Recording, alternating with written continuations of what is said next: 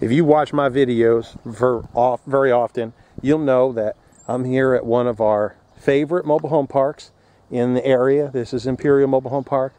Neat as a pin, clean as a whistle, good quality homes, good quality community, and good quality people. This home is a 14 by 70, uh, two bedroom, two bath. It's in great shape and it's at a great price. I'm going to show you all about it. I want to show you the outside first. How neat it is.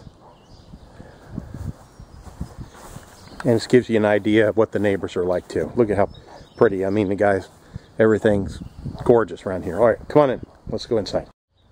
So we've got this great porch and it's got a shed in the back there. And let's go on inside. All new laminate floor. All laminate floor throughout this room. And look at this fireplace. How cool is that?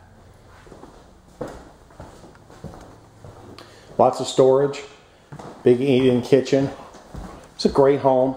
It's solid. It's not fancy. It's affordable. A lot of people want fancy home, but then they find out they can't afford it. This thing, you just pay cash for this home and you never have a house payment. You realize that you'd be ahead of 95% of all Americans if you didn't have a house payment? How nice would that feel? Just, just a low lot rent out here at Imperial. Master bedroom, master bath. You got a full full size uh, five foot tub and shower, sink, hopper, nice window, and a huge master bedroom. It's got to be 13 by 14. Well, it's definitely 14 wide. We know that.